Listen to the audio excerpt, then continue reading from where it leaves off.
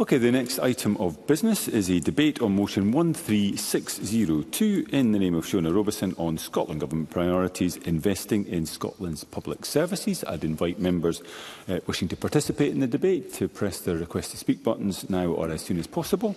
And I call on Shona Robeson to speak to and move the motion. Cabinet Secretary, allowed 11 minutes, please. Thank you, Presiding Officer. Let me firstly uh, move the motion in my name.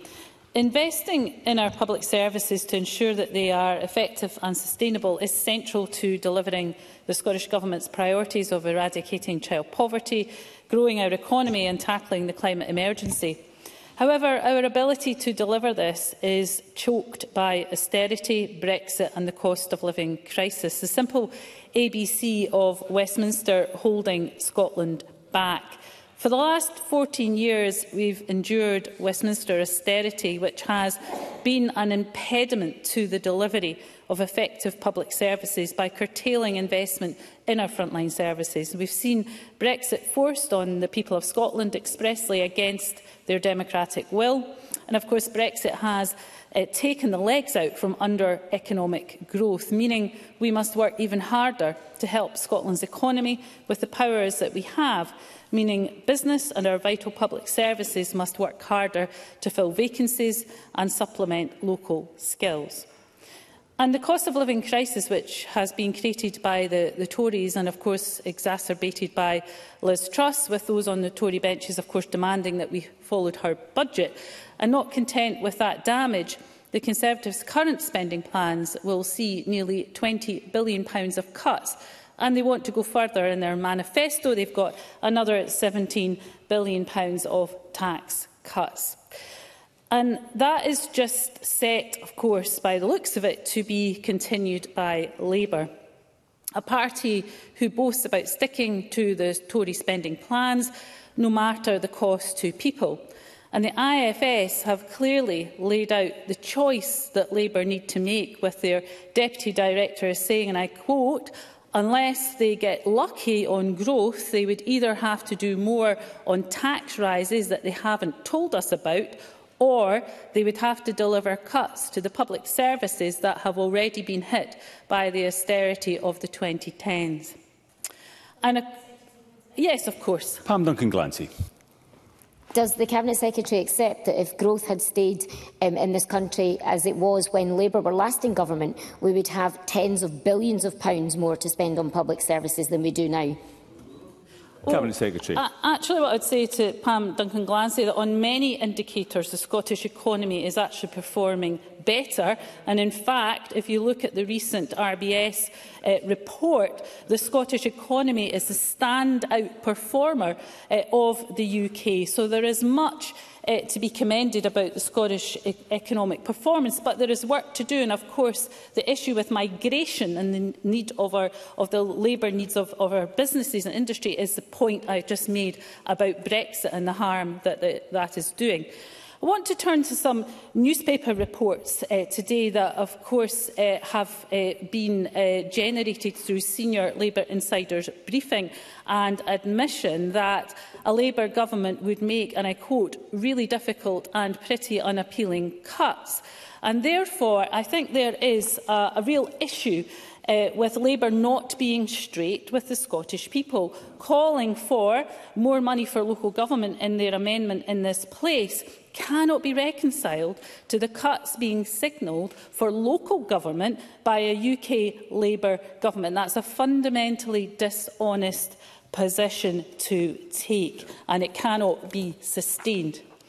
Presiding officer, I know the current financial situation remains incredibly challenging, but the Scottish Government will continue to prioritise spending effectively to ensure our public services remain sustainable. For example, The medium-term outlook for our capital budget is particularly difficult. The latest forecasts show that our capital block grant is expected to re reduce by almost 9% in real terms between 2023-24 and 2027-28. That's a cumulative loss of over £1.3 billion that we're not able to invest across Scotland to support our public services to remain efficient and effective. Quite simply, if the incoming UK Government doesn't reverse the cuts to capital and deliver a meaningful uplift for investment in public infrastructure, they will have to explain why they have followed the path to greater austerity than the Conservatives have laid. Without that change, there will be a significant impact on the capital investment programme. Yes. Miles Briggs. The, the Cabinet Secretary is calling on others to reflect. I wonder if she has reflected on her time as Health Secretary and the £20 million cut to drug and alcohol partnerships and the drug deaths crisis we see, or the £200 million cut to the housing budget while she was Cabinet Secretary uh, for Social Justice and Housing. Where's the SNP taking responsibility for problems in Scotland? Cabinet Secretary can give the time well, back for the intervention. Let me say on the housing budget specifically, of course, it's not just the capital cut that we're wrestling with. It's the over 60% cut to financial transactions. Now, I know that Miles Briggs knows that the financial transactions funding is what underpins the affordable housing supply programme. So you cannot have a 60% cut in FTs from the UK government for that not to have an impact on the very programme that it funds. What we need to see, though, is a reversal of both the capital cut and the cut to financial uh, transactions, and that is what we will uh, be pressing for. Presiding officer, the uh, Scottish Government has, uh, of course, uh, um, consistently and proudly prioritised investment in public services, and we will continue uh, to do so. Despite this challenging financial situation, we continue to take bold and ambitious action to protect and improve our public services wherever possible. We're using all of the powers available to us under the current uh, devolution settlement in order to maximise our investment in public services to benefit the people of Scotland. For example, we believe that those with the broadest shoulders should be asked to contribute a little more and a progressive approach to taxation is central to our investment in public services. And that, of course, delivers £1.5 billion in additional funding to protect our services. So given their opposition to progressive taxation, the simple fact is this, that if Labour were sitting in our seats right now, they'd be delivering 1.5 billion of cuts to Scotland's public services. Presiding officer, I am proud of the Scottish Government's legacy of investing in and reforming Scotland's public services over many years. Across the education and skills sector, we are continuing to invest around £1 billion each year in 1,140 hours of high-quality early learning and childcare.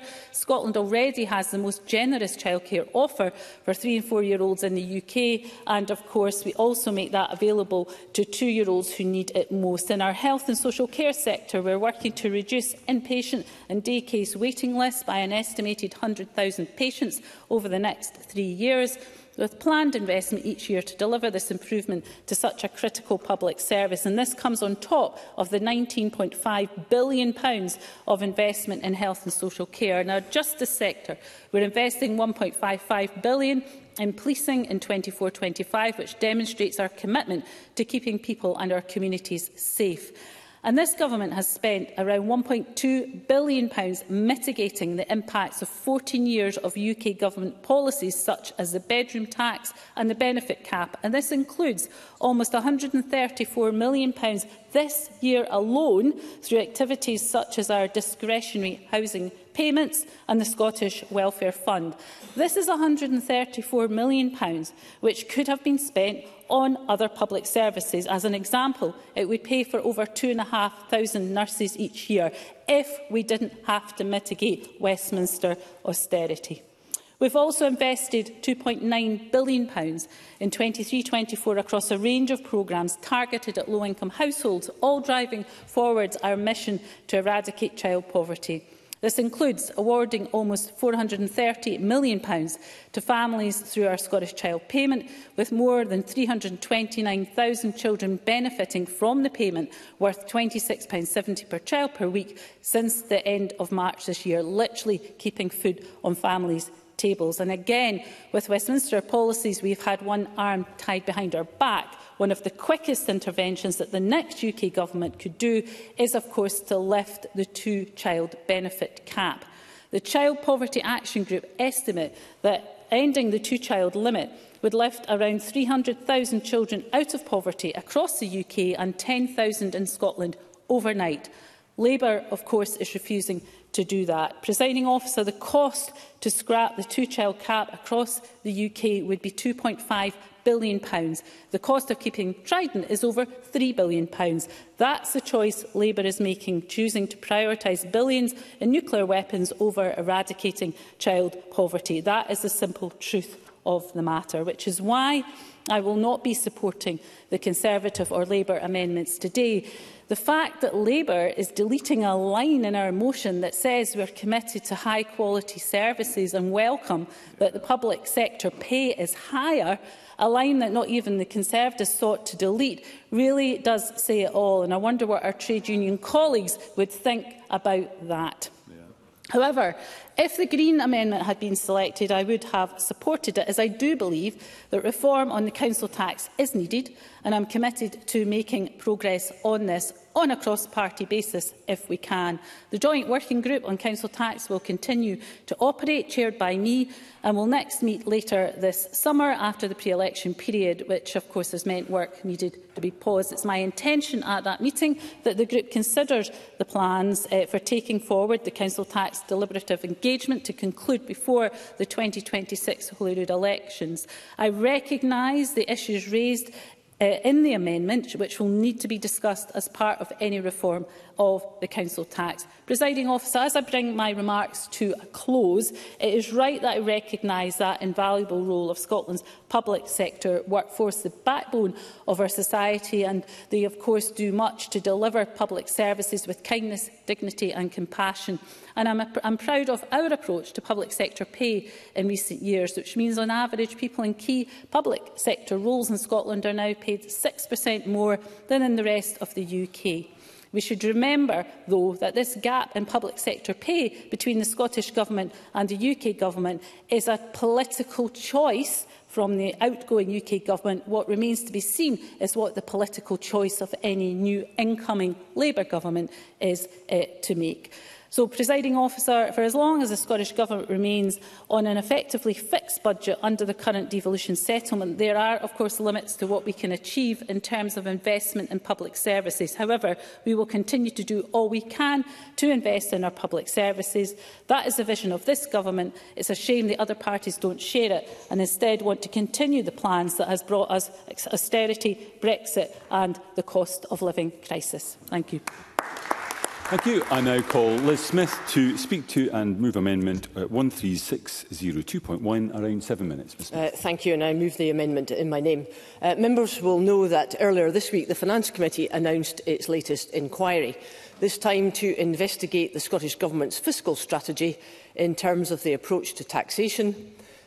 the use of capital for innovation and growth, and to analyse what progress has been made in terms of public sector reform all of which are obviously extremely important when it comes to the debate about investing in our public services. The demand for this inquiry at committee has come about partly because of ongoing concerns that have been raised by the Scottish Fiscal Commission when presenting its objective data about the current state of public finances, partly from concerns from Audit Scotland about the lack of effective leadership in some aspects of Scottish Government policy, and partly because of the, Scot the Committee's own concerns about the lack of transparency which too often clouds the decision-making process here in Holyrood. And of course, all that is set against the current UK economy, where there have been major issues resulting from high inflation, high interest rates and high mortgage rates. So there is an important and indeed an urgent need about how we uh, stimulate investment and therefore better protection for our public services. Ask many people across the economy and they will tell you that they want the following – economic stability, prudent fiscal management, lower taxation and closer alignment of Scottish taxation with UK taxation, a well-maintained infrastructure, fewer barriers to trade and a strong emphasis on training and skills. The huge issue for the Scottish Government, however, is that as a result of its higher tax rates, and not just for those in higher income groups, the public is not seeing any improvement in their public services. In other words, they are paying more and getting less. Now, that is an uncomfortable fact, and we know, I, I want in a, in a minute, there is an uncomfortable fact, and we know that because some within the SNP ranks know full well that that can't continue.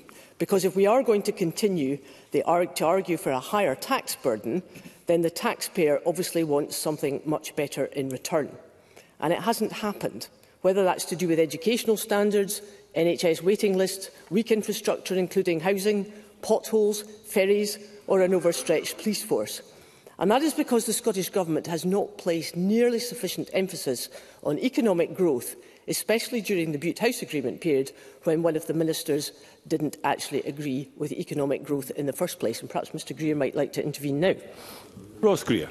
Uh, I'm grateful to Smith uh, for, the, for taking the, the intervention and uh, to be clear there are many parts of Scotland's economy that the Greens want to see grow and supported the growth of during our time in government, most obviously the renewable energy sector. Uh, but the point I was going to make is that she mentioned that people across the country want to see lower taxation and I'm sure if all else was equal that would be the case. But poll after poll after poll has shown that the majority, the vast majority of people in Scotland are willing to pay more tax if that money is invested in our public services, showing the strong commitment to the social contract in this country. Does Liz Smith not acknowledge that the Conservatives are actually vastly out of line with public opinion on this? Liz Smith, I can give you the time back. Eh, very definitely not, because if you listen to so many people who are running businesses, who are operating within the economy in Scotland, the last thing that they want now is a higher tax burden, and a higher tax burden when it comes to differentials with the rest of the UK. So I'm afraid I don't accept that at all.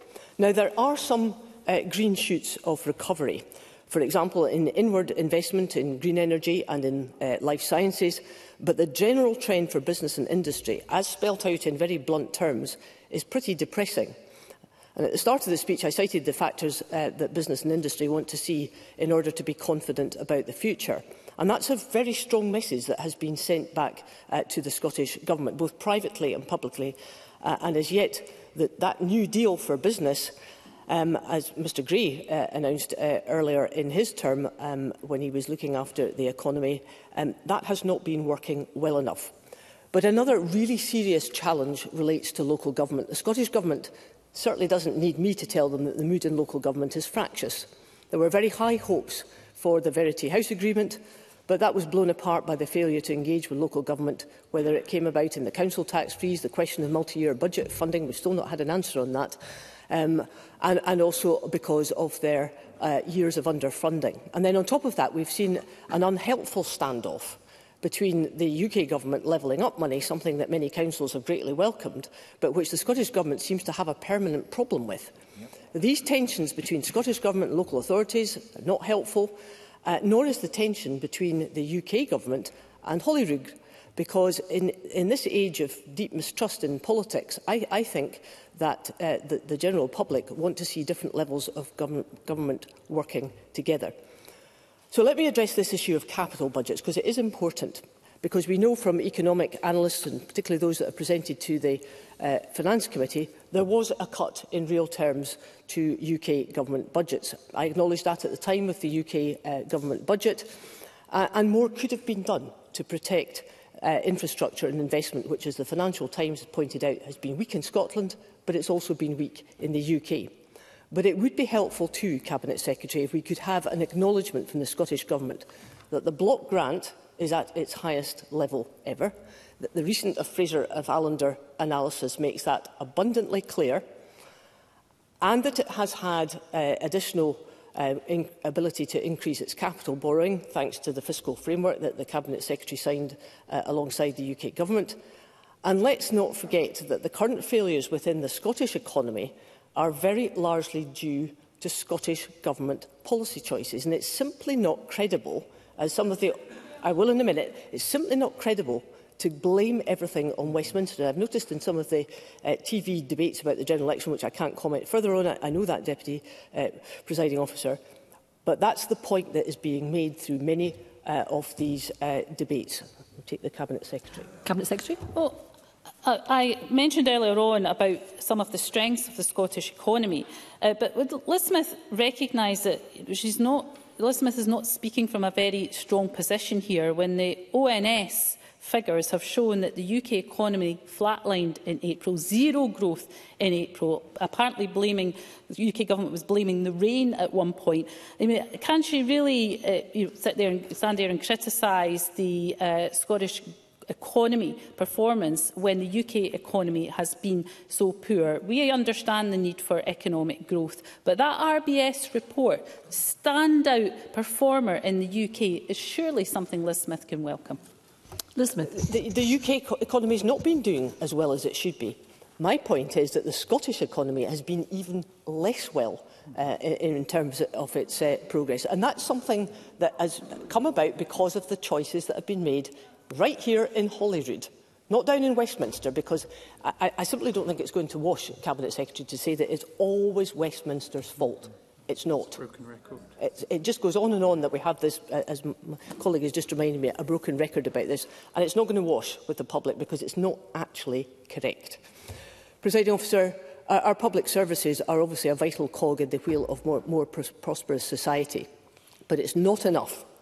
to throw more and more money at them because past history shows that by throwing more and more money, it's not actually improving it. We need a restructured economy a new tax structure, and I'm glad to hear that the Cabinet Secretary is making some progress with her uh, Commission. We have to ensure that Scotland is the best place for economic innovation and entrepreneurship, and we need to remove the barriers which business persistently claims is holding them back. So I finish my remarks on that. Can we raise the game in terms of the things that we can do to be able to make Scotland a first-class economy in which to invest? Thank you, Ms Smith. And I now call on Mark Griffin to speak to and move Amendment 13602.2. And Mr Griffin is joining us remotely. Mr Griffin. Thank you, President Officer. I move the amendment in my name. And just at the outset, give my apologies to the Chamber that I'm not on the, the front bench and that I'm participating remotely. I tested positive for COVID this morning, and so I'm sure that colleagues would much rather that I participate across a screen rather than um, across the chamber and be sharing much more than my opinions. Um, but, presiding officer, five billion pounds, five thousand million pounds. That is the amount of public money that the SNP has wasted since they took office. Nearly three hundred million pounds for each of the seventeen years under this SNP government. In terms of EU funding alone, despite claims otherwise, it's clear that millions will go unspent uh, and unallocated. And these figures are just the latest example of this government's financial incompetence. This isn't just bad management, it, it becomes a betrayal of every Scot who relies on or works in our vital public services. And the truth of the matter is that the SNP, along with the Tories, want us to vote for and accept failing public services and a struggling economy but we deserve better. We want change because every single institution in Scotland has been left weaker by the SNP, and nowhere is that clearer than in our NHS. On this government's watch, our NHS, the finest achievement of, of a Labour government, has been allowed to crumble. With an overstretched workforce and an ever growing patient waiting list, bold changes are, are required. And here are some shocking numbers from our NHS over 1.6 billion pounds on agency spending, 1.3 billion pounds lost to the discharge. That chaos absolutely has to stop. Kate Forbes criticised Hamza Youssef for sticking with the same failing strategies, but nothing has changed since John Swinney became First Minister. And in fact, John Swinney and his deputy have been responsible for over half of this Parliament's budgets, 13 of the SNP's 17. They have had oversight on the vast majority of this government's financial mismanagement. I'll take the intervention from Ms Adam the member for taking an intervention. I'd like to ask the member, does he truly believe that a Tory austerity agenda, a Tory, a Tory Brexit and a Tory cost of living crisis has had no impact upon our National Health Service at all? Mark Griffin they they clearly have. I just said that after 14 years of Tory chaos, but 17, 17 years of SNP mismanagement have left the NHS in the state that it's in, and that's why this um, this election is a chance to make the first step along that road to change, the first step along that road to delivering a fit NHS for the people who, who rely on it. But, presiding officer, as one of the key delivery partners of our vital public services, I also want to, to touch on local government. Since 2013-14, the SNP has cut over £6 billion from our local councils. Bins are, are overflowing, potholes aren't filled, and libraries and sports facilities are being forced to close. Those cuts are hurting every single day. Our local authorities desperately need support partnership and proper funding, instead to get the gimmick of a council tax freeze handed down to them by a Scottish Government and funding which doesn't cover it. Now, those are hard facts that you will not hear um, from the government today, that local government core revenue has been cut by 62.7 million, core capital budget cut by 54.9 million.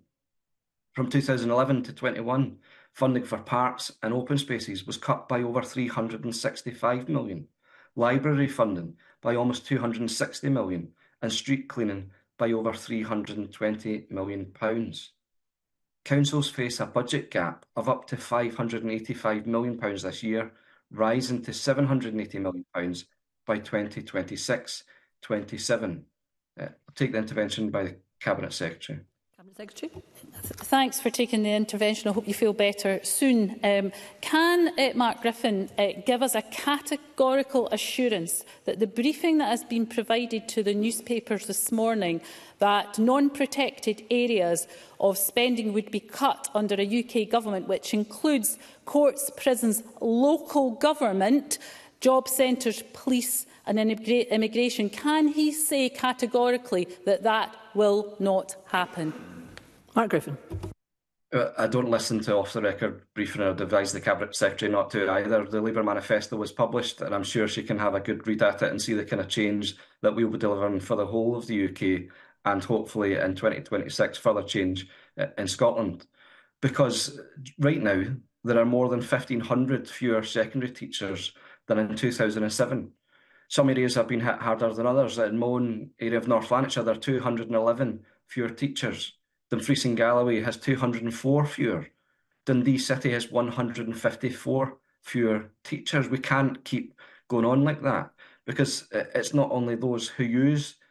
these vital services that are suffering, it's also those who provide the services who are feeling the brunt of the chaos and incompetence of two failing governments. Public sector workers do invaluable work for our communities, and the Scottish Government must urgently provide clarity to public sector bodies unions and workers regarding its future plans for the public sector workforce. It's by working in true partnership with our public services workforce, growing our economy and investing in our public services that we will begin to reverse the decline of the past 17 years. That's what Scottish Labour will do. Under a UK Labour government, we will grow Scotland's economy, create jobs, and bring new opportunities. We will renew our public services after years of mismanagement we will close tax loopholes to fund the NHS and tackle the mental health crisis with real funding increases. We'll put forward a true NHS recovery plan that values staff and promotes health. We'll prioritise the delivery of economic growth in all parts of the country to create jobs, boost incomes, reduce poverty, and allow for greater investment in and, crucially, reform of our public services. We will reverse the abject decline in funding local government. Presiding Officer, it is time for change. Change that revitalises our public services and puts the needs of the public first. The man who delivered his first budget in 2007 cannot deliver that change. Scottish Labour will deliver the change that we need. Thank you.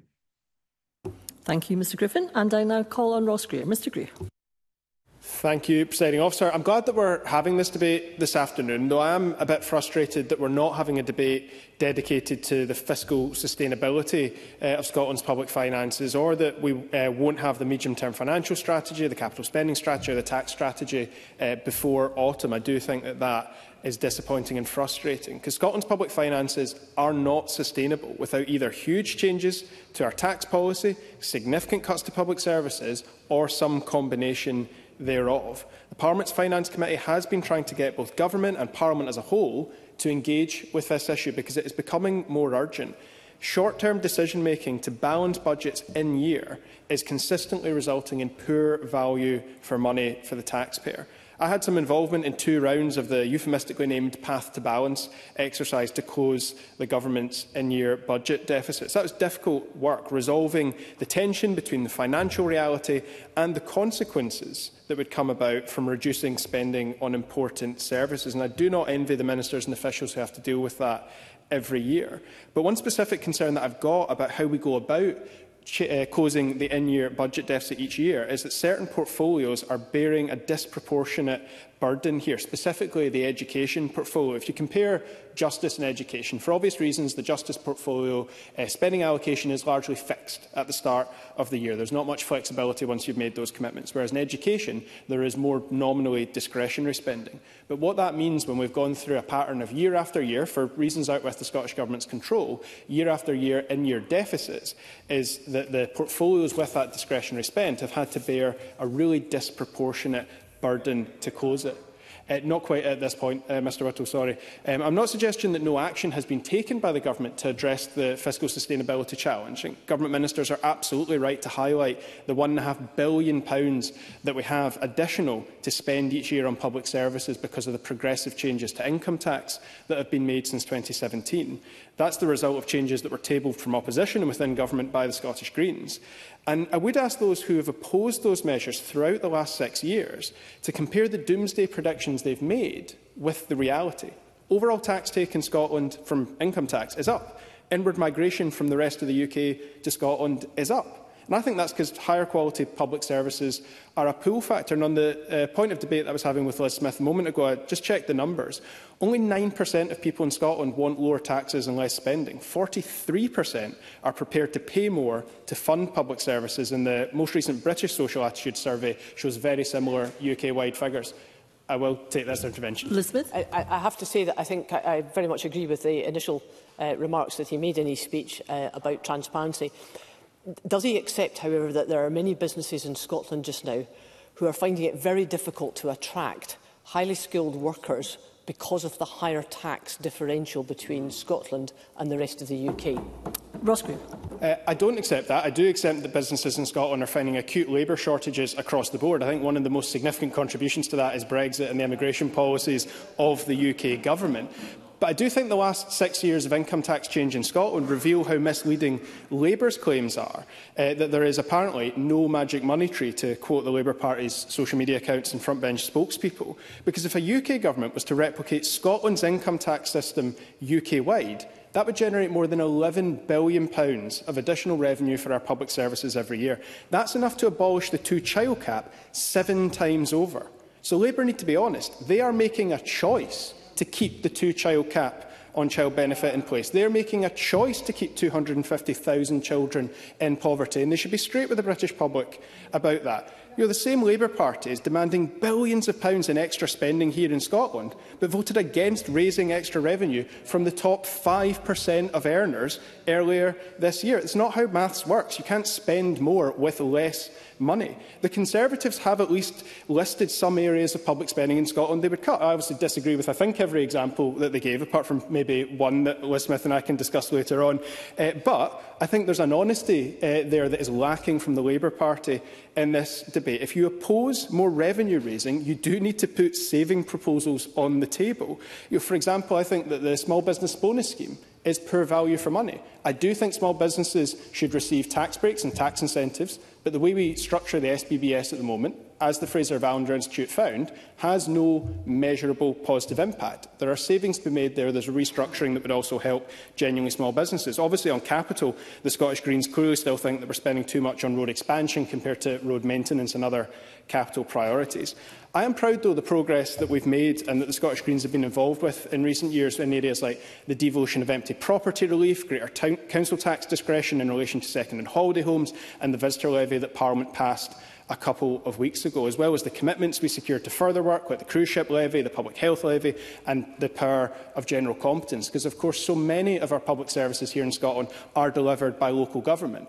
But local government has not nearly enough financial discretion of its own, certainly compared to what is the, the norm across Europe. And, presenting officers, the Cabinet Secretary referenced the Green Amendment looked specifically at council tax and the reality Uh, that we are still basing a tax system here in Scotland on property valuations from 1991. Now, I held it off for as long as I could, but I turned 30 earlier this month, and I am younger than council tax valuation. It has not been in date in my lifetime.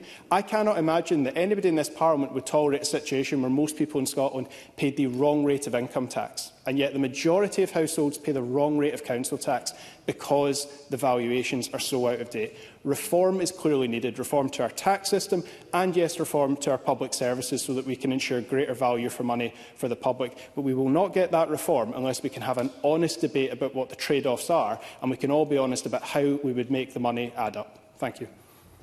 Thank you, Mr Greer. And we now move to the open debate. I call Karen Adam to be followed by Edward Mountain. Ms Adam. Thank you, President Officer. When I think of public services, as I was pondering um, to write this speech today, I automatically thought, I'm sure as many other people do, of the support that they provide us throughout our lives, from the cradle to the grave, often caring and supporting us when we need it the most, in particular our National Health Service. So today I'm going to focus my remarks principally on the institution that gave me my first opportunity to serve the public the institution which delivered six of my children, two of my grandchildren, took care of my relatives before they passed away, and on so many occasions throughout my life have taken care of me and my family in our hours of need. And I know I'm far from alone in the gratitude and pride that I have in the NHS. This service is a manifestation of our collective commitment to each other, embodying the values of compassion, solidarity and care. The Scottish people look to us to provide investment in the NHS, but not only investment in monetary terms, but investment in the fundamental belief of the institution itself. For many people who stand at a ballot box, they are looking to vote for the NHS, to see a party dedicated to the protection of it. It's a marker of our society. And it goes beyond ensuring that every person in Scotland has access to the care and the support that they need. It's about ensuring that it's there for future generations too, delivering services when we are no longer here. I'm proud to support an SNP Scottish Government which is committed to improving Scotland's public services, particularly our NHS, not as a cost, but as a vital investment in our future health, equality and prosperity. Proof of this investment comes in the form of an NHS workforce in Scotland, currently the highest paid in the UK. Scotland has had the best performing A&E core units in the UK for nine years. NHS funding has more than doubled and we have the highest number of GPs per head in the UK. As a consequence of this SNP government's decisions, there is £1.5 billion available to spend on public services in Scotland today that wouldn't be available had it not taken the decisions that it has taken on tax. A socially just and progressive approach to public service investment, design and delivery is essential, and it must be underpinned by fair work and a progressive tax policy. This approach ensures that everyone contributes their fair share to the funding of services that benefit all of us. And it's about creating a society where everyone has that opportunity to thrive. However, the challenges we face are significant, and nobody is turning a blind eye to that. The UK spring budget, however, fell far short of what Scotland needs to deliver further investment in public services and infrastructure. This has resulted in a cut in the Scottish Core Block grant of around 0.4 billion in real terms for 24-25 compared to 22-23. Such cuts do hinder our ability to make the necessary investments in our public services. This does not signify to me a priority of the UK Government to deliver for our NHS. Therefore, I support the Scottish Government's call on the incoming UK administration to bring forward an emergency budget to restore the £1.3 billion cut in Scotland's capital budget. For as long as the Scottish Government remains on a fixed budget under the current devolution settlement, there are limits to what we can achieve in terms of investment in public services. It's imperative that we have the resources needed to support them effectively. Now, despite these challenges, people in Scotland currently benefit from policies not available in England, Wales or Northern Ireland. These support Scots struggling after 14 years of austerity cuts, such as free tuition fees, free prescriptions, free personal care, the Scottish child payment, the mitigation of the bedroom tax, and SNP's Scottish Government proving it prioritises its citizens. Presiding officer, my grandmother was a domestic supervisor at the Royal Cornhill Hospital in Aberdeen, and alongside her worked my mother and my auntie. My grandmother had a reputation as a white glove type, ensuring the highest standards of cleanliness and care. And this pride in working for the NHS was a badge of honour in my family, and I, I, do, I did a turn as an NHS domestic at Aberdeen Royal Infirmary, and I remember the pride that my family felt when I started working there. And it was celebrated. And before my first late night shift, my grandmother had cooked me a special tea to sustain me to make sure that I was fit for the job that she held in high regard. It was a fulfilling and a rewarding job, and one of great importance. Presiding officer, public services are the core of our society. They represent our collective commitment to care for one another. We have a deep regard and pride in them, and by investing in these services, we invest in the future of Scotland, which is exactly what this SNP Scottish Government is doing. Thank you. Thank you, Ms Adam. I call Edward Mountain to be followed by Ben McPherson. Mr Mountain. Um, thank you very much, Presiding Officer. And I, uh, I'd like to start by apologising to the Chamber that with the Presiding Officer's approval, I've been allowed to leave the debate 15 minutes early to attend an event uh, which I'd rather not be attending, but I have to. So I'm pleased to be able to uh, speak in this debate this afternoon about the provision of services, because the provision of services isn't just the provision of things that we take and need so much, things like the national health, education and such like. It's also the provision of other services across Scotland, like the transport services, which is another pet subject of mine, which I think are really important. And today we heard, very sadly, that somebody last night died on the A9. And I'm sad to report that there's been another accident just this afternoon at approximately 12.30 hours at Dalwini. I haven't heard if that has resulted in a fatality, but I pray not. And we wouldn't be in this situation, I suggest, if the A9 had been duelled when we said it was going to be duelled. I'm sure I don't need to remind the government that on the 6th of December 2011, they announced that they were going to duel the roads between all of Scotland's major cities, including the A9 and the A96. In fact, uh, Alec Neil, I think, was put on the bridge at Lunkety on the 6th of June 2012 to re-announce it, uh, doing what many governments do, re-announce good news. The trouble is the good news stopped there. We haven't got to that stage where the A9's been dual. In fact, we only found out last year, uh, oh, sorry, this year, that it wasn't going to be dualed by 2025, which is when it had promised it was going to be due by. Uh, and it was quite clear from the evidence that uh, the previous First Minister, one of the previous First Ministers, Nicola Sturgeson, knew that in 2017 that delivery was never going to happen. And it's sad that it didn't happen at that stage for the simple reason that money was available. It was before COVID. It was before uh, any austerity that the Cabinet Secretary believes that she can claim to blame for her failures. I don't believe that is the case, but if we'd done it in 2017, then none of these would have been issued. And I think it's sad as well that when we're talking about it, that when I quizzed uh, Nicola Sturgeon on why it hadn't been done and whether she understood what Alex Salmon had said when he was First Minister, her comment was, I'm not sure he and I were on the same cabinet. Well, if they'd been on the same team, which they claimed to be, I'm sure the A9 and the A96 would have been duelled but that's had a knock-on effect to all the other transport that we have across Scotland.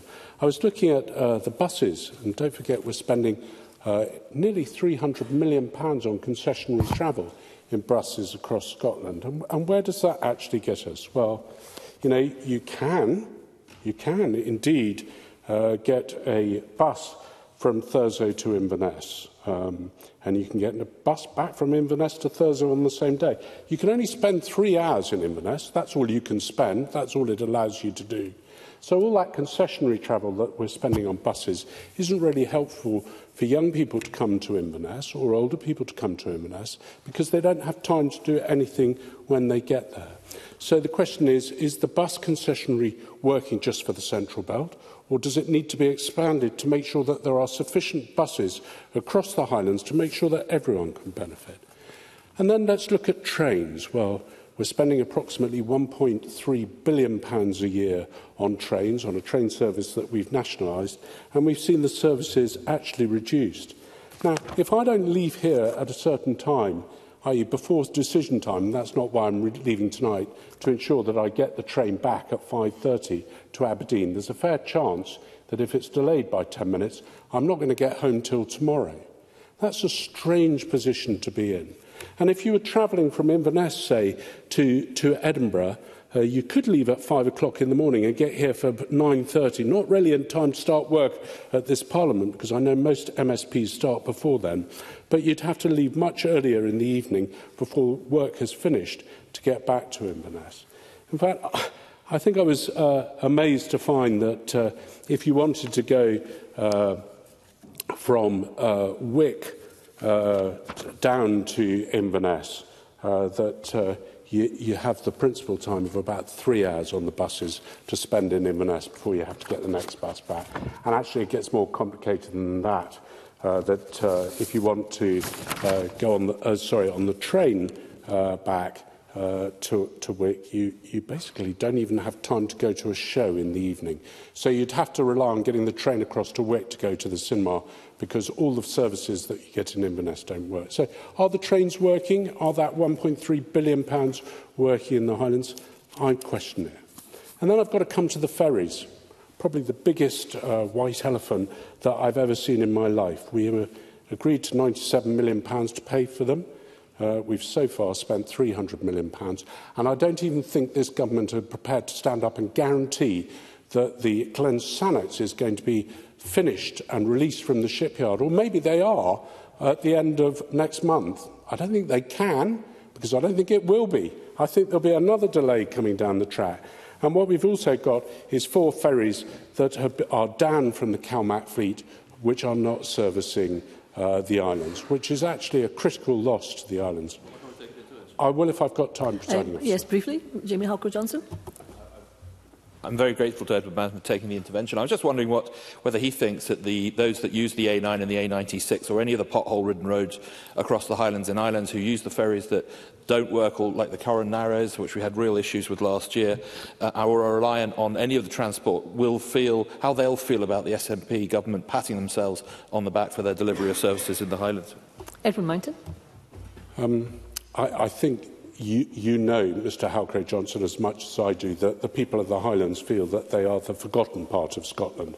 And it is the Central Belt that gets the investment, that gets the exceptional money invested on the line between Glasgow and Edinburgh, which cut journey times down by 20 minutes, whereas in the same time frame that it took to build that, we've seen journey times from Perth to Inverness increase by 20 minutes.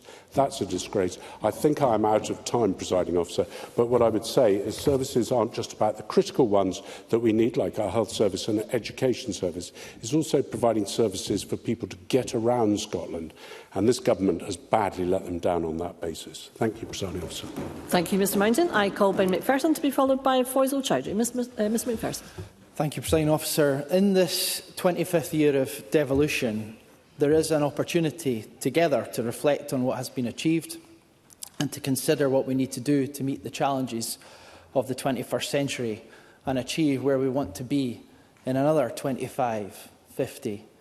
75 years' time.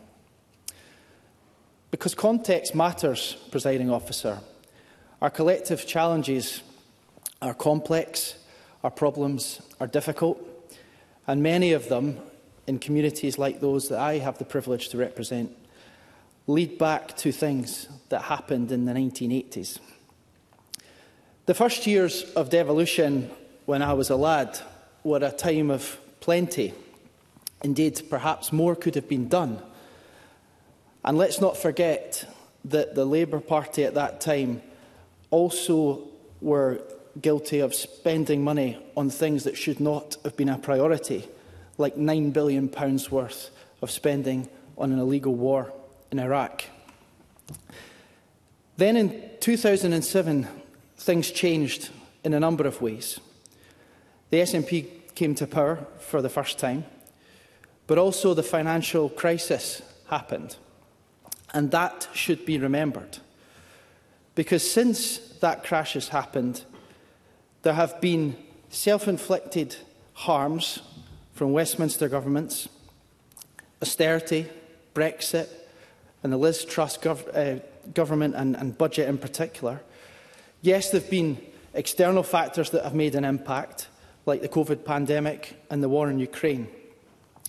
But especially from 2010, the David Cameron government, I think there has been a significant period of mistakes that have caused extreme difficulty and, and made Britain, as the Resolution Foundation have stated, uh, a poor country, a poorer country with uh, very few rich people.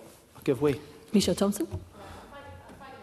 Uh, for allowing my intervention. And just to add to that, is he aware that the UK economy uh, ha has made the slowest recovery of all the large advanced economies from the crash of 2008. And that is highly indicative of issues at macroeconomic level. Ben McPherson? Absolutely. The policies of austerity from the Westminster government not only created social damage and uh, had a negative impact on our public services, but because of that also had a consequential negative impact on our economic performance. And therefore it is remarkable, in my view, that the Scottish Government has delivered such progress in that period since the financial crisis in 2007. I could say a lot about this, but let's just think about the journey of a young person in Scotland compared with the rest of the UK. When young people are born in Scotland, they can benefit from everything in a baby box. If they're eligible, they get Best Start grants. They'll get more support with childcare.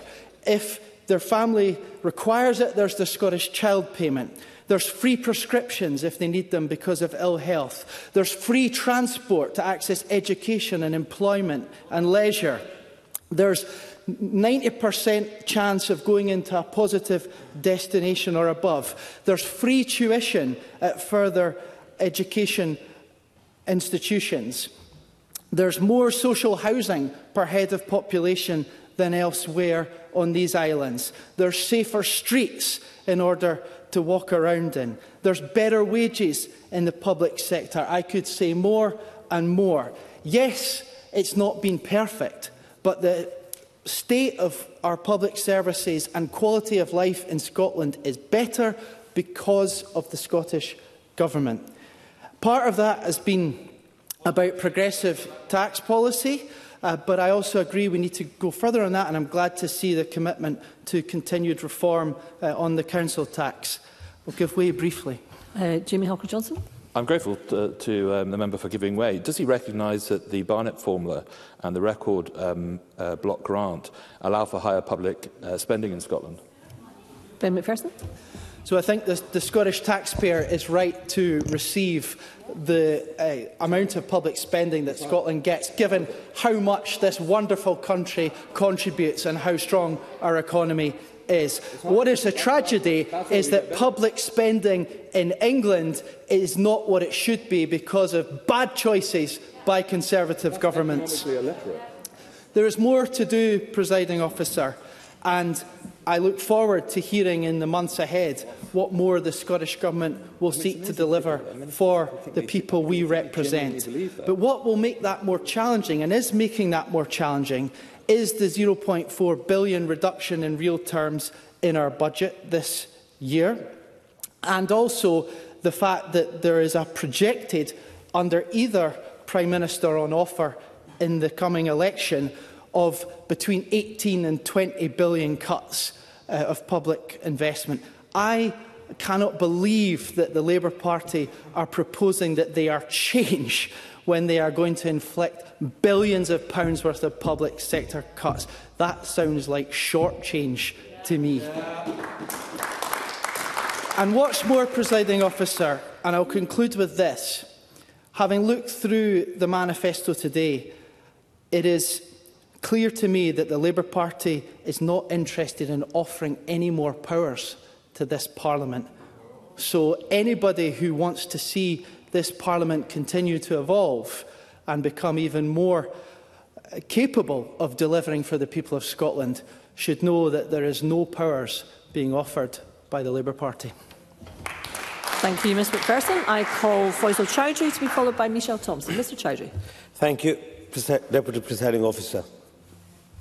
I want to begin by paying tribute to our public service workforce, who in the last few years have dealt with so much. Those in our NHS who put themselves at risk and treated people while we stayed at home during lockdown. Our police force who do a very difficult work keeping us safe. Our fire service who save our lives every day. And all those who do roles which are not public facing yet remain vitally important, all the same. It is unfortunate that the hard work of so many of these sectors and so much time is spent working harder to achieve less, trying to cope with the consequences of the repeated underinvestment and chronic mismanagement we have seen from this SNP government. Myself and everyone in the chamber today hears every single week from the constituents example of our public services suffering from underinvestment. We hear from people who are stuck on a waiting list for a vital operation, their lives on hold. Just this week, uh, can I just, uh, I have a lot to go through, I'll, I'll, I'll give you in a minute. Uh, this, just this week, I had a constituent who was diagnosed with prostate cancer, he was told his tumor is growing. Yet there is an eight month wait for surgery, and he has no idea when his treatment will start. He is living in a fear for his health and confused on when he will get help. And his experience is far from unique. The number of Scots waiting more than a year for treatment has risen by the fifth in the last year to almost 88,000 people. And while this happening, we have, we have seen 1.3 billion wasted on delayed discharge and 1.6 billion on agencies spending. The SNP are leaving Scottish taxpayer to let down by the service which is supposed to be there for them in their greatest time of need. These are issues being seen with underfunding in all our services, and the public uh, ultimately pay the price. This is most clear in our local authorities.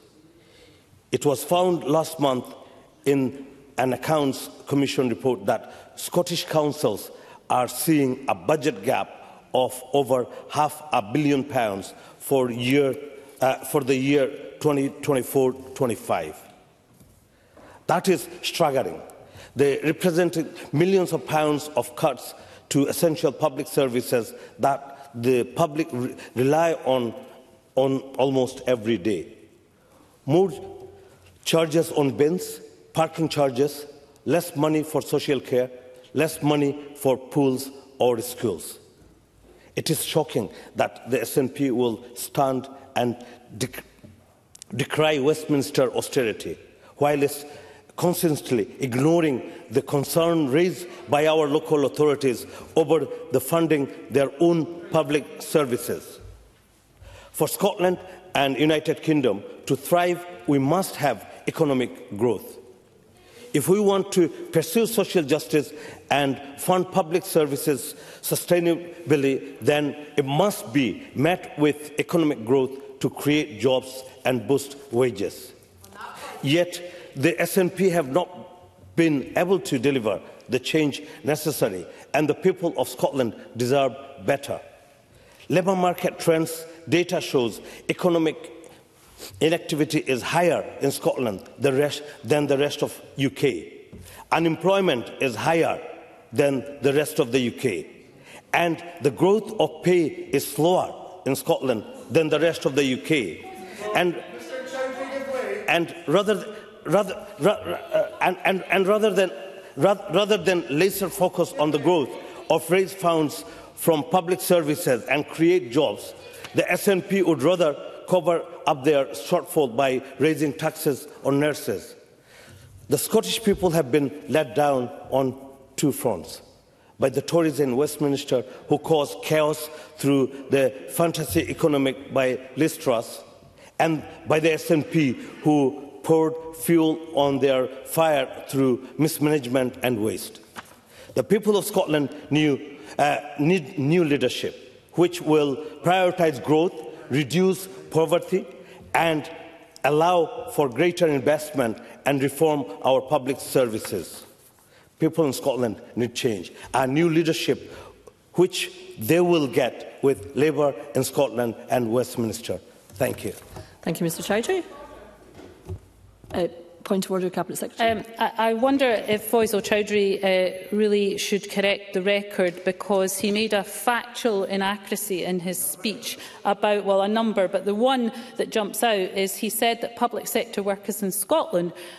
are paid less than the rest of the UK. They are actually paid 6% more on average, £1,500 uh, on average more than public sector workers elsewhere in the UK. It is really important that there is accuracy here in this chamber, and I hope Faisal Chowdhury will, will correct the record on that point.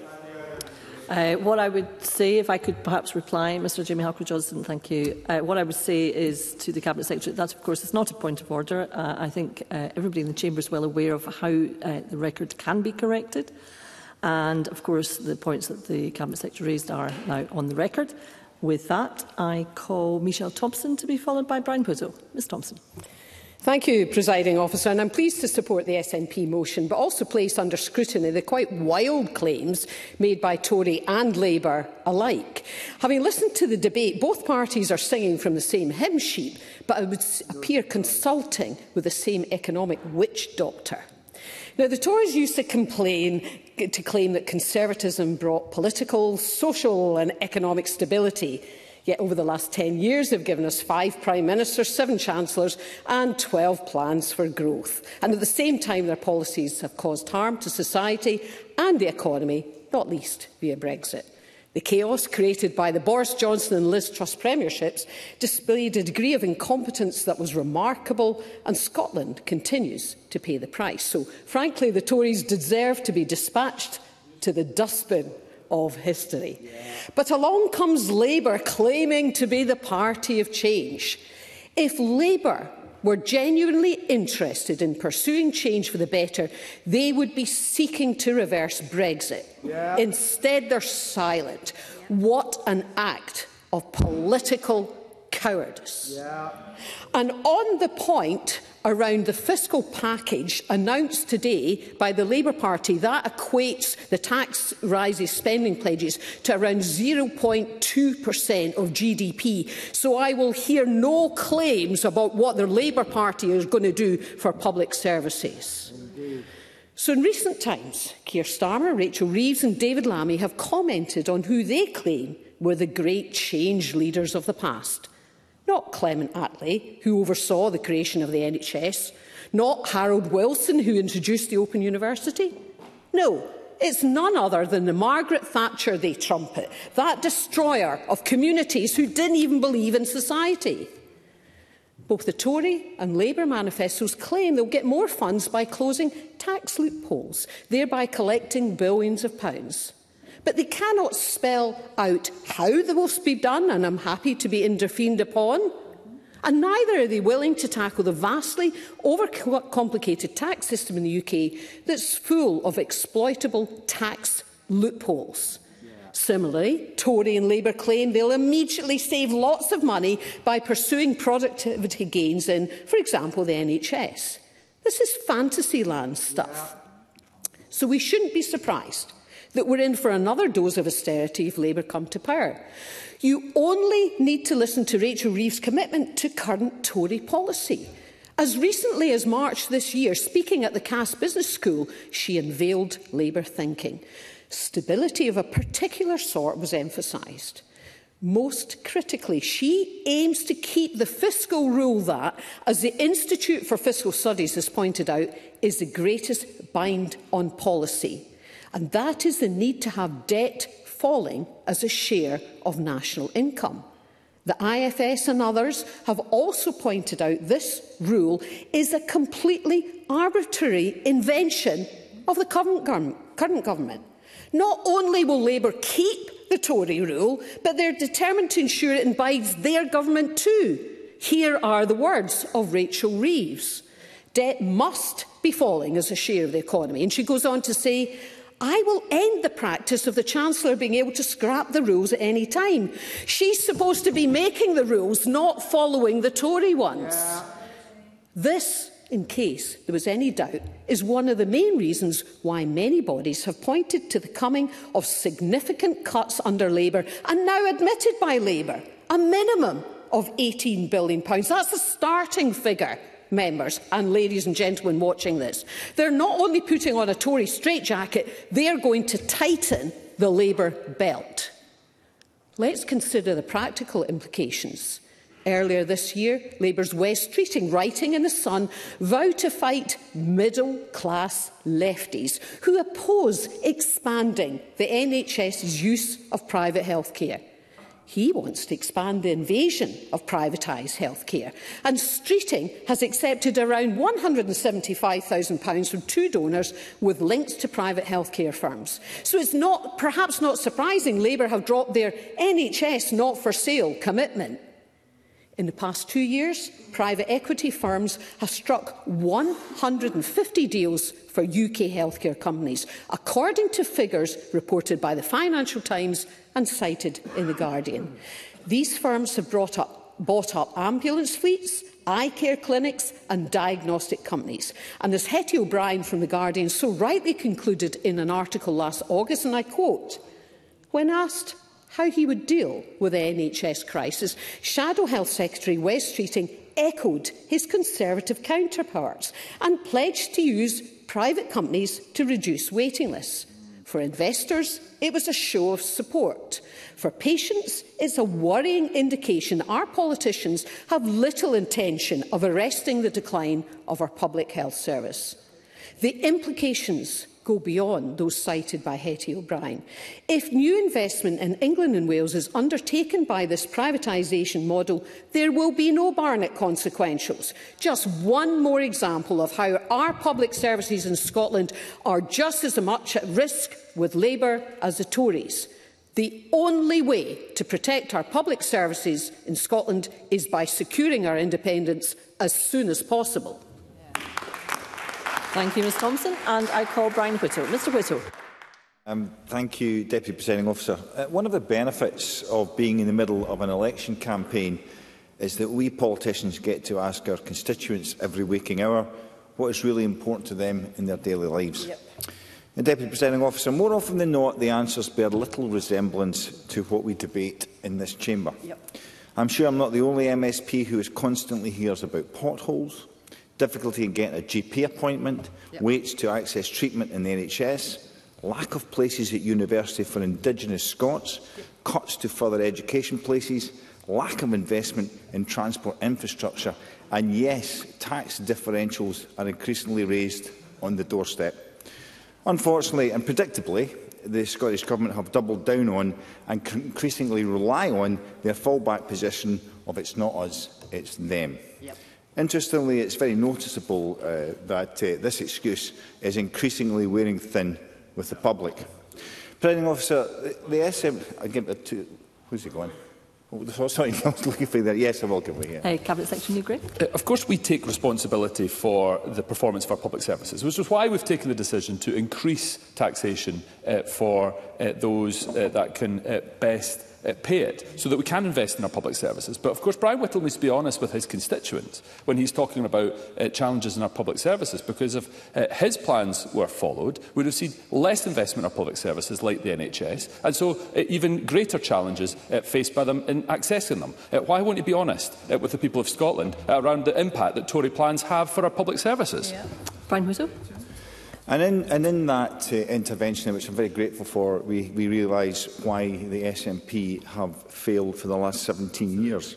They failed to invest in our public services, and the frustration is that so much could be achieved, should have been achieved. However, there are so many examples, like we've just heard, that point to the SNP's addiction to pop politics and headline grabbing to the detriment of delivering outcomes. For example, Mr Gray, the Scottish Government are very fond of the term record funding for our health service, yet fail to explain why I have the worst health outcomes. Yep. Throughout the time that the SNP have been in office, Scotland has had the worst health record of any European country, from the scandalous rise in drug and alcohol deaths to lower life expectancy and still reducing Children today born in Scotland have a lower life expectancy than their parents for the first time in history.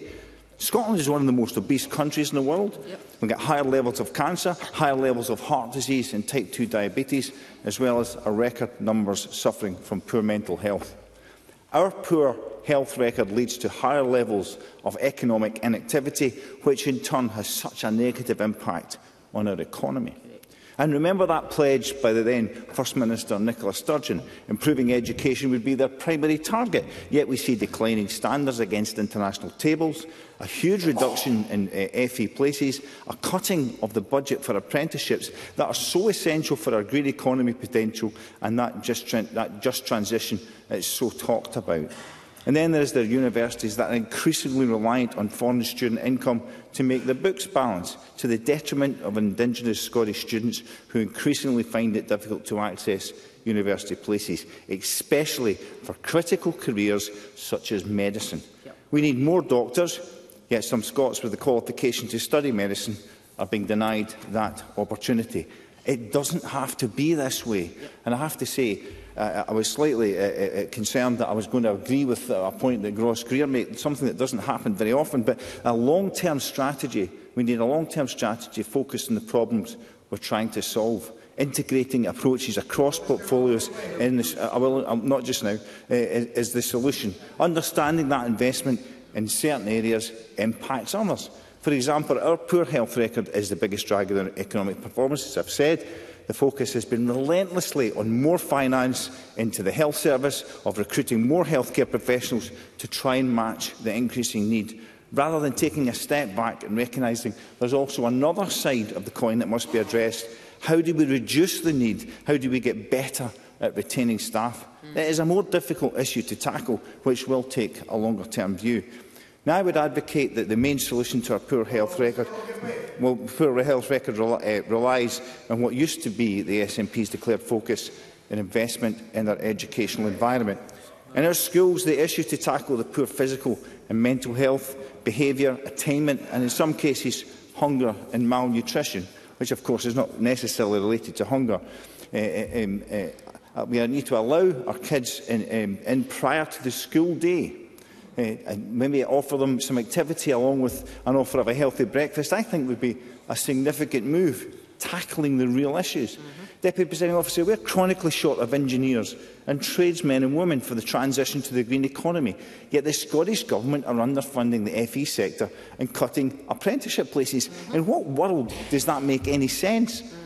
All the Scottish Government are doing is ensuring that they will not make their climate change targets. They won't be able to take full advantage of the opportunities our economy, eh, eh, uh, for our economy that the growth in the green economy offers. And of course, the Scottish Government will then rely on their built-in excuse of the UK Government's fault.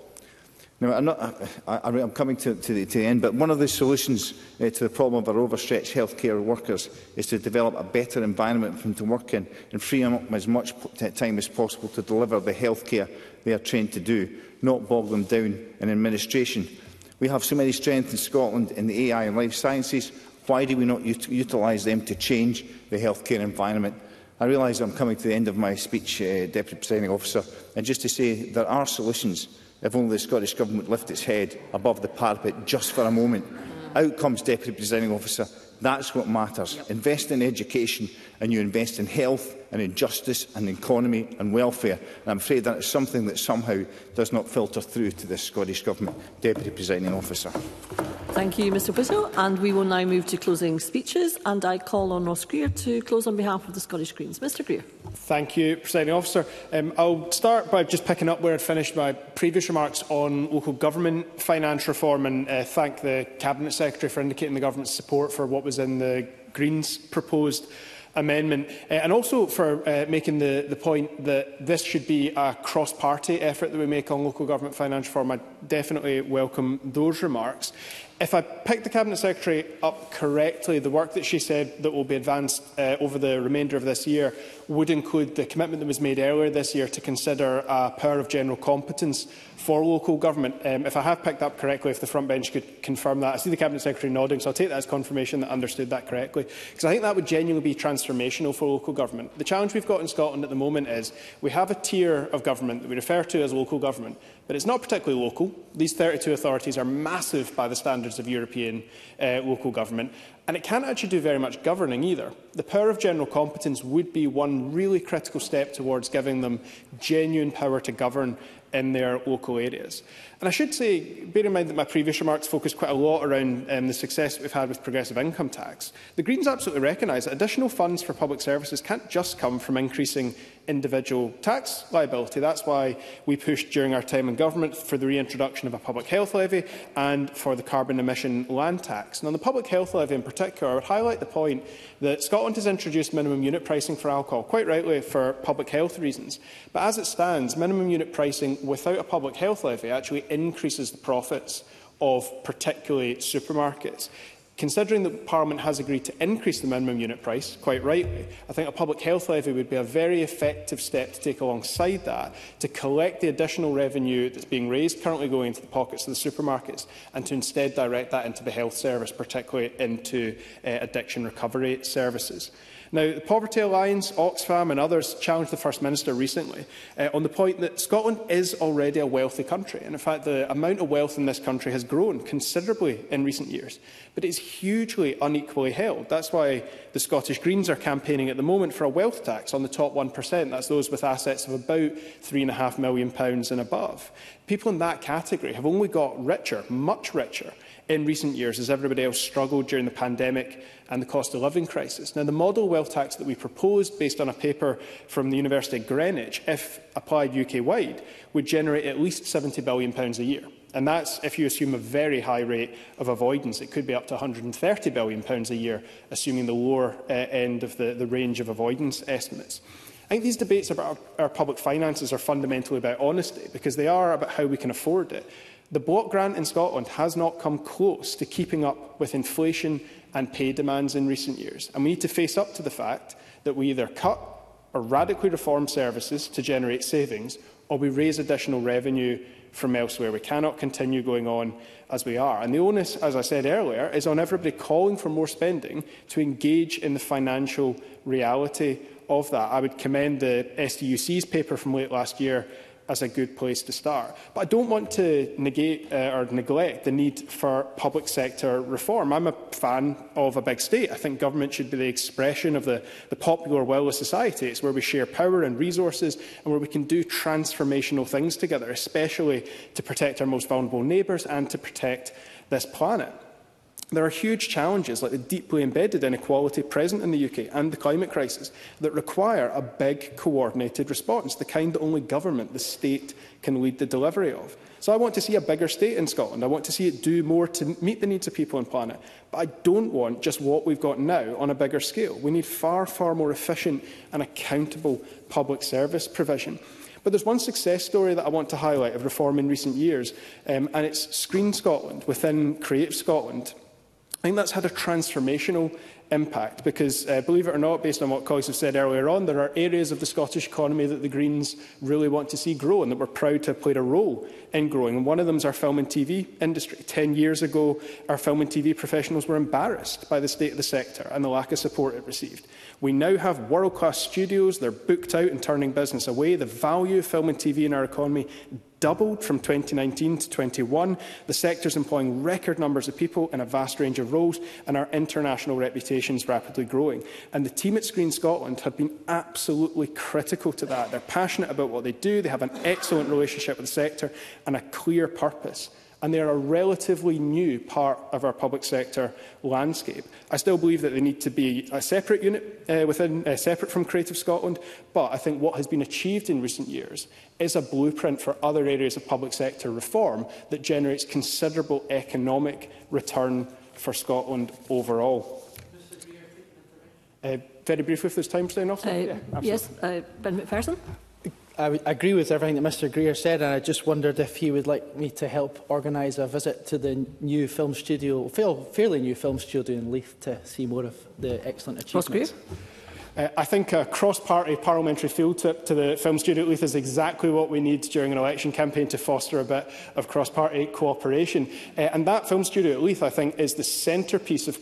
uh, Screen Scotland's success because they were critical to securing that. And it is consistently booked out with world-class productions at the moment, something that we should be really proud of. Very briefly in closing, presiding officer, there's a few additional points I'd like to make. One is about sharing data within the public sector. The David Hume Institute have made it very clear there's a huge economic economic loss in Scotland from the lack of availability of public sector data to the tune of about £2 billion every year. I think there's much more that uh, we can achieve there plenty of additional points I'd like to make, particularly around NHS reform, but I can see that the clock In closing, I would simply say that I think we need to make more time for debates like this on a regular basis to explore public sector reform and the management of our public finances. It's a key topic. It cuts across every portfolio area and it affects the lives of everyone in Scotland. So I hope this afternoon can be the start of a more constructive cross-party discussion going forward.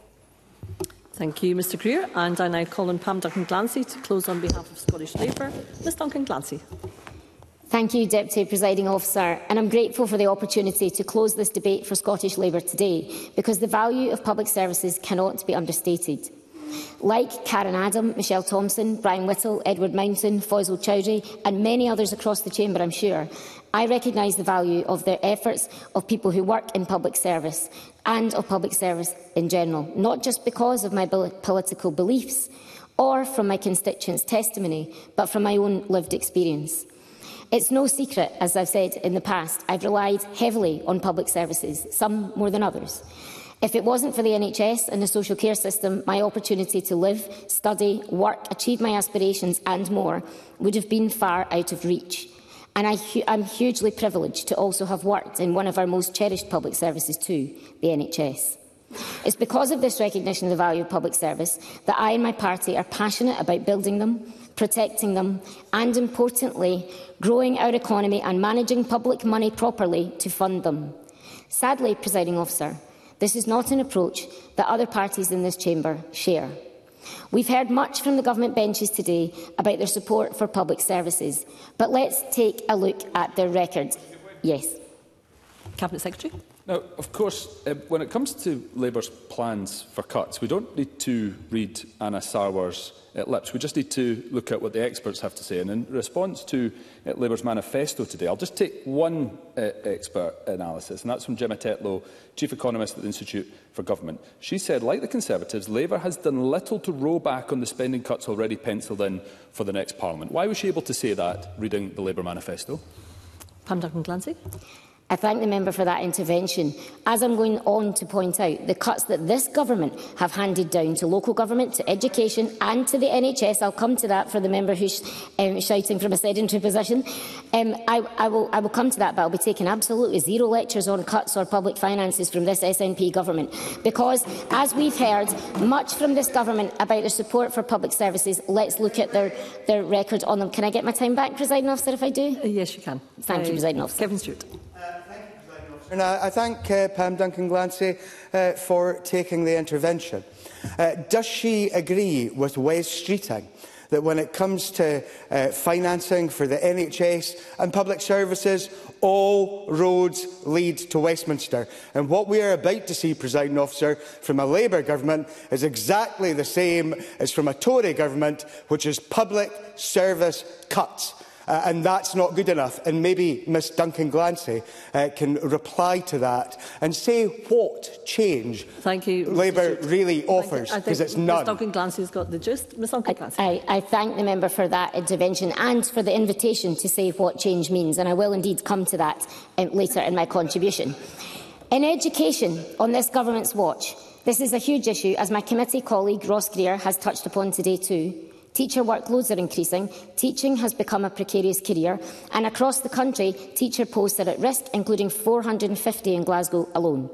The government say they put 145 million pounds into local authorities to protect teacher numbers, but that's against the savage cuts to local authority budgets of over 6 billion pounds since 2014. This money simply doesn't protect teacher jobs. It could be, and in many cases has been, spent several times over plugging SNP gaps. This is not valuing our schools as public services. And anyone who hears what I did in committee yesterday will know that the government's record of supporting colleges as public services is no better either. Across Scotland, colleges face cut after cut, year after year, leaving them on what the government's own skills advisor has called a burning platform, with staff striking in nine of the ten last years because government cuts have undermined their pay and conditions, and fewer students able to go to college in the first place. And I agree with Sean Struthers, who said yesterday to committee that the inevitable cycle of less for less will impact social and economic development of Scotland and that it beggars belief that this government is allowing this to happen to colleges on their watch. That is not recognising the value of colleges in, as public services. That is decimating them.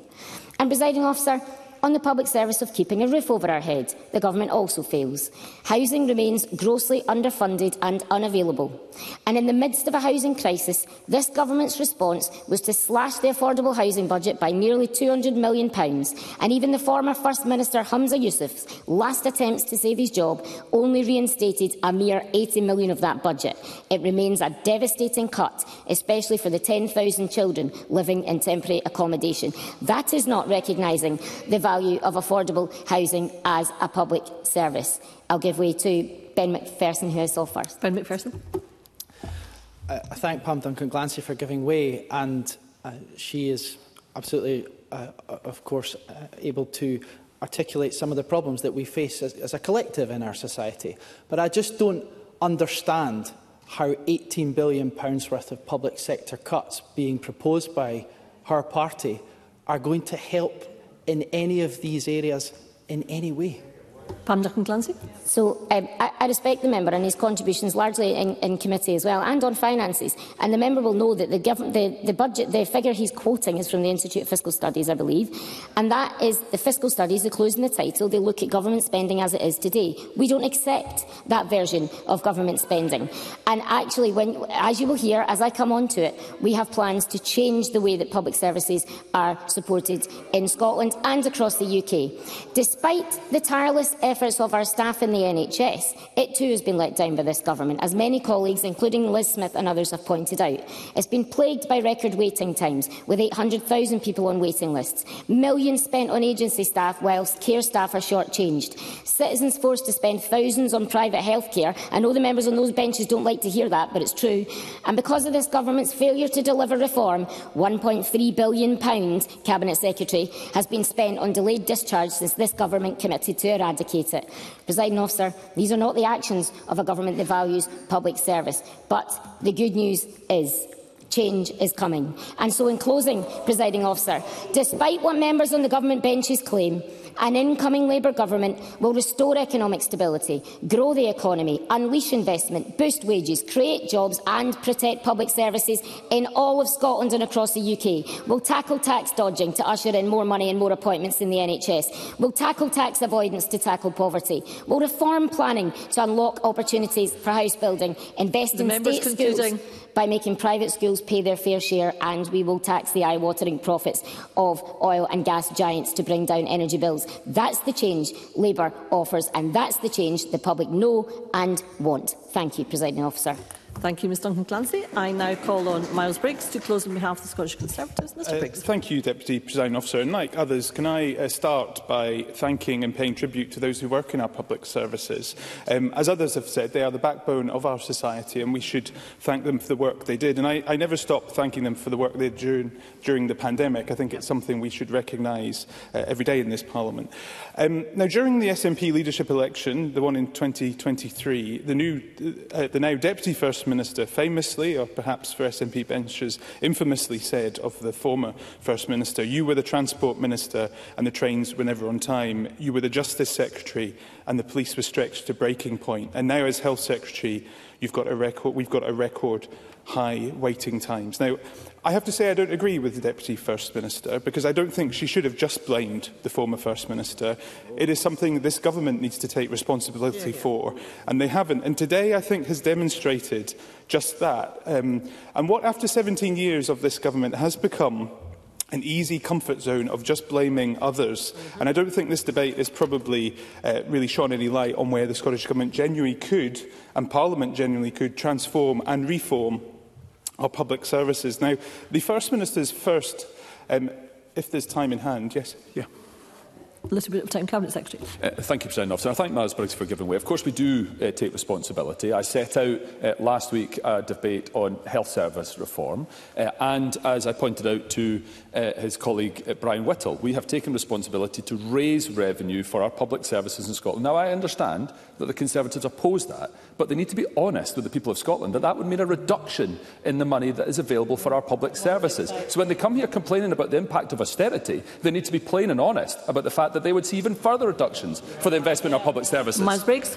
Yeah. Coming on to that in my speech, and I actually welcomed um, last week what the Health Secretary said. And it's something I've been calling for for the time I've been in this Parliament, that we need to have a national conversation over where our health service is. And the fact that every single week we as MSPs are raising problems in our health service um, needs us to actually look in the mirror and see Why is that the case? And I think we should start by looking at Audit Scotland's reports. Uh, the workforce challenges which they have highlighted, and you know, I, state, uh, a quote from them, the Scottish Government needs to act uh, quickly to deliver services differently. They've called on the Government to act on the workforce crises um, which our NHS has faced for too long, um, and on the economic strategy. You know, Audit Scotland have said the Scottish Government's economic strategy lacks political leadership. Now, there can be nothing more uh, condemned uh, than Audit Scotland saying politicians in the government are not actually pro providing the leadership we need to grow our economy, to deliver our public services. Now, I want to touch upon um, the recent uh, declaration of a housing emergency by the Scottish Government. Um, that is welcome, and each week we have seen local authorities. Last week we saw Borders Council, and, and just this week South Lanarkshire Council declaring housing emergencies. But we need to see a fundamental look at how we're delivering housing in Scotland. I have consistently raised the issue of children living in temporary accommodation. The numbers are now through the roof, but ministers haven't done things differently. They've put more and more pressure on local authorities at the same time as taking away funding from them. That has delivered this housing crisis, and ministers need to re take responsibility for that. The charitable sector have been asking to be part of solutions calling on ministers to let them in. But we haven't seen that taking place, and we are now in a position where we have another national emergency. We can't just see every single part of our public services uh, become uh, emergency status. Now, the Cabinet Secretary... Um, mentioned, uh, oh, no, hasn't mentioned yet, reforming our public services. And I do think over the last 17 years, the SNP government have neglected that opportunity, and we haven't seen the real uh, potential uh, which I think our public services have, to be improved. And although the Cabinet Secretary for Health is now launching a national conversation, I don't think we really know the direction of travel uh, which ministers want to take. Now, at general questions earlier today, I raised the issue of children being placed in adult services. And looking at our mental health services, we have not reformed them over the course of the last 25 years to, to deliver the levels we need. When we're going to say we want a parity of esteem between health and mental health, we need to make sure our mental health services are there to respond. Now, one of the, uh, the areas which I think is of interest and something I hope the Cabinet Secretary for Health is looking at is some of the reforms which um, are now happening in London, for example, with regards to the Met uh, police force. Uh, because I know from my casework, and I'm sure every single member does, when someone is in a mental crisis, mental health crisis or in distress, and we send then Police Scotland as the response. That is completely inappropriate. We then see them taking them to an accident and emergency department where that individual will sit with police for hours and not get an outcome. They'll be taken home. They might have a review of their meds. But we need to see something differently. Again, reforming services to include uh, the third sector to be able to deliver a different outcome is important. And that's where Right Care and Right Person, which is now being delivered as a different model by the Met Police, is something I think we need to look to as a country as well. It delivers an outcome and a different response. If I have time, yeah. Uh, Kevin Stewart? Um, I understand what Mr Briggs is saying about the right person at the right time. Uh, and that's one of the reasons why we have uh, the distress brief intervention projects going on in here, here in Scotland. It may be a police officer that intervenes, it may be a paramedic, it may be a social worker, but it will be a trained person. And that is the right thing to do. Uh, and I think that in some regards, um, Mr Briggs and maybe his colleagues need to look at what is going on across the country already uh, in regards of how we treat folks uh, with uh, mental health distress. Miles Briggs. And, you know, the, the member will know by interest in this and the work I've done in my time in Parliament. Here in my own region, in West Lothian, for example, that intense uh, at-home nurse team to stop children being clinicalised, I think, is a really important step forward. Uh, but to go back to uh, the Met uh, the different model which the Met are taking forward, the Met Commissioner, Sir Mark Rowley, stated, we are failing people first by sending police officers and not medical professionals to those in mental health crisis and expecting them to do their best in these circumstances, but not with the right people supporting uh, that patient. Now, my colleague um, and friend Liz Smith sta stated in opening this debate that the current failures within the Scottish economy are very largely due to Scottish Government policy choices, from not passing on support to Scottish businesses to anti-growth agenda, which we've seen uh, very much brought forward by the Greens when they were at the heart of this government. Now, I agree with that, and I believe it is time for Scottish Government ministers to dedicate themselves to growing our Scottish economy. To deliver the funding we will then be able to enjoy for our public services.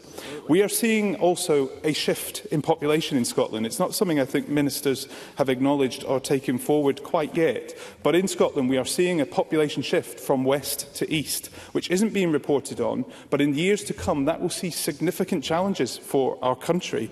Edinburgh and the southeast of Scotland is the only part of our Scottish economy still growing and economically active. And we are also seeing 80% of potential future growth in the Scottish population here in my region, in Edinburgh and the South East. I don't know if I'm pushing I, I, it for extra time. I think the member should be starting to conclude. Yes.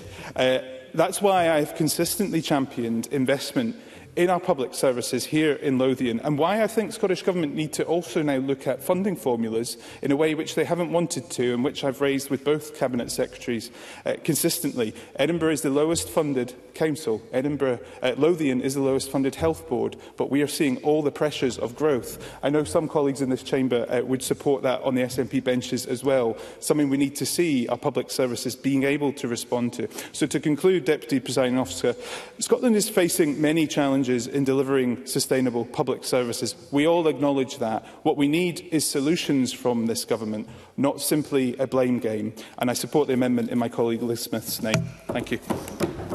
Thank you, Mr Briggs. And I now call on Neil Gray, Cabinet Secretary, to uh, wind up on behalf of the Scottish Government. Uh, if you take us to decision time at five, that would be most helpful, Cabinet Secretary. Uh, thank you very much indeed, uh, Presiding Officer. Uh, this debate has highlighted Uh, the dedication, the commitment of this government to invest in our public services to better the lives of people across Scotland.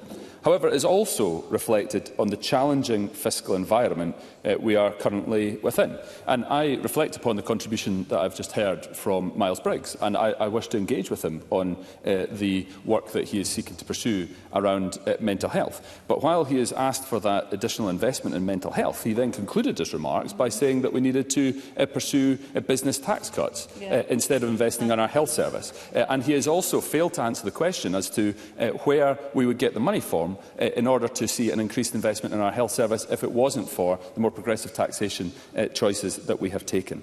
Um, what has also not helped Uh, uh, in this debate, uh, in this uh, work that we have been pursuing, it has been the cut to the Scottish Block Grant of just under half a billion pounds in real terms in 24-25 compared to 22-23, as was outlined by Karen Adam in her inspiring uh, contribution on the pride of public services. And uh, like her, uh, like uh, Miles Briggs, uh, like uh, Faisal Chowdhury uh, and Pam Duncan Glancy, I want to pay tribute to our incredible uh, public sector workers who do an outstanding outstanding job uh, in the service of the people of Scotland. Uh, what was uh, made uh, clear by the Cabinet Secretary for Finance in opening this debate is that regardless of the current limitations upon us, we are using all the powers available to us within the current devolution agreement to focus and prioritise maintaining and building sustainable and effective public services. Because investing in our public services is one of this government's key priorities. I only wish it was a priority for other prior parties in this chamber. Of course I will. Miles Briggs. Thank the Cabinet Secretary for taking this intervention. We are marking 25 years of the Scottish Parliament being existence.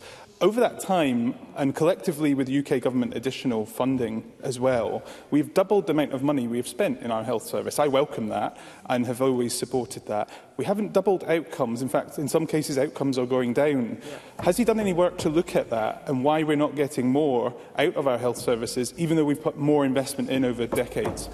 Cabinet Secretary. of course, and this goes back to the points that I was raising in uh, the discussion on reform that I instituted last week, which is about the need for us to ensure that we're investing in preventative measures. Now, it's not something that uh, is only just going to be starting. The work that we do on the vaccination programmes, the work that we do uh, on uh, in, minimum unit pricing, is preventing further ill health from uh, ensuring uh, that we are uh, making progress with our health services. And, of course, the investment that we're making uh, to ensure that 100,000 children are uh, kept out of poverty yeah. has a direct consequence on the outcomes that we will see within our health services. Yeah. So, of course, I, I I'll be more than happy to have that discussion and debate with, with Miles Briggs and others.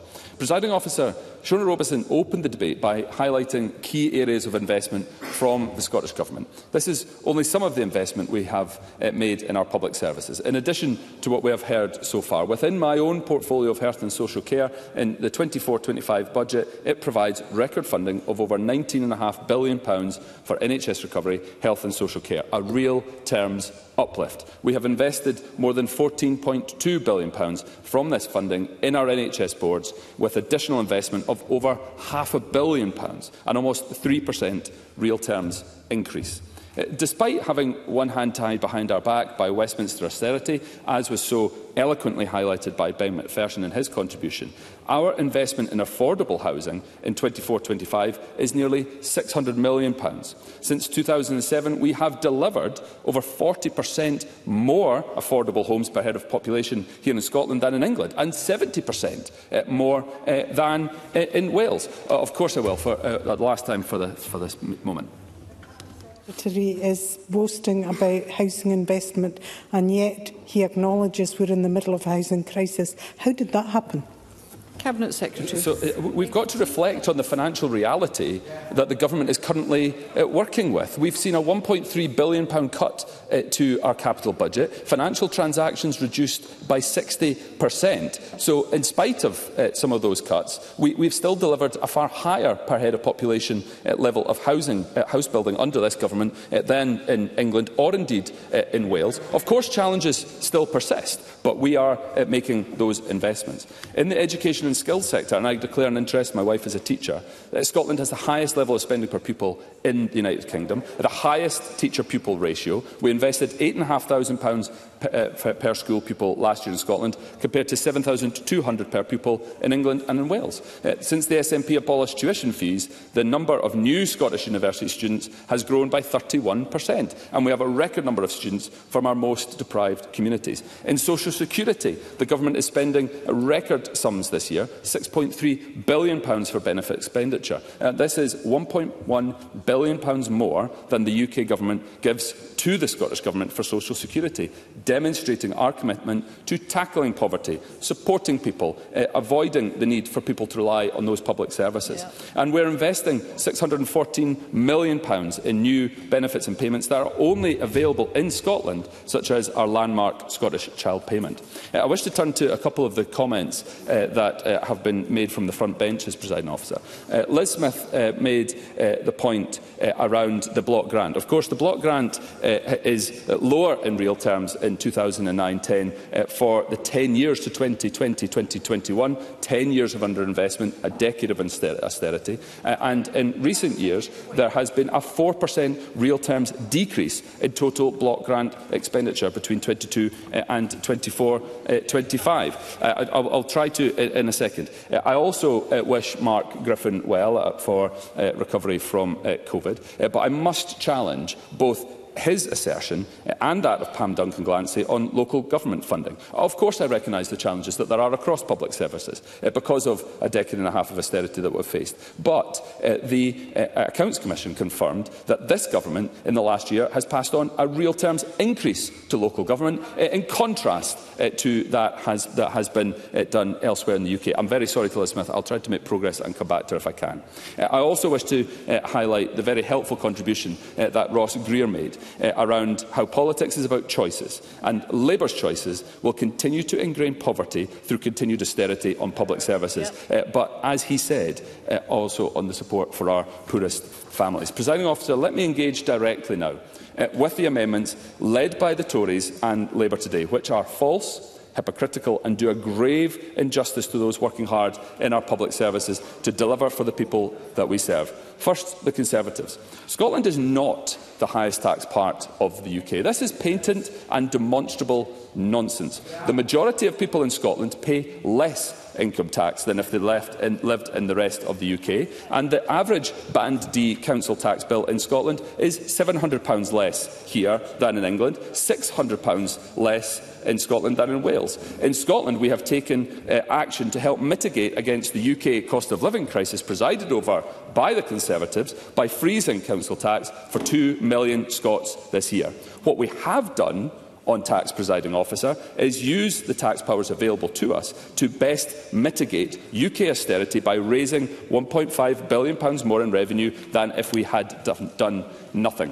What, without that, we would have seen cuts to our NHS, cuts to local government and other public services, as we have seen elsewhere in the UK, and the Tories should at least be honest about that, yeah. which, when I challenged Brian Whittle, he squarely failed uh, to do. Yep. That is action from this SNP government that I would expect to be opposed by the Tories, who pass on tax breaks for the wealthiest in society whilst cutting public services we all rely on. But shamefully, Labour also opposes us raising additional finance for public services. But what I also find curious is that Labour's amendment today would have us delete that we should have high-quality public services yeah. and welcomes the key role uh, our workforce plays in delivering those services. And that public sector pay is higher in Scotland than in the rest of the UK. It also deletes the criticism of spending cuts from the Tory spring yeah. statement. Why on earth would they do that? Why would they uh, miss an opportunity to criticise the Tory UK government and their austerity agenda, especially when Wes Streeting defended the challenges faced by the NHS in Wales by saying all roads lead to Westminster? It shouldn't be curious at all, presiding officer, because they are laying the groundwork for the continued austerity we have been promised by a Labour UK government. £20 billion pounds worth of austerity, according to the Institute for Fiscal Studies today. In the one area of public service investment we might see coming from Labour that Pam Duncan Glancy referred to in the NHS, Labour has confirmed it will be worth just £134 million pounds for Scotland, barely enough to cover a 1% pay rise for the NHS staff, less than most of the, Tory, the recent Tory consequentials. That's not change, that's continued short change, it's continued austerity. And that's why Anna Sarwar's claim there will be no more austerity rung so hollow the other night when the First Minister exposed the austerity consensus in the Westminster establishment.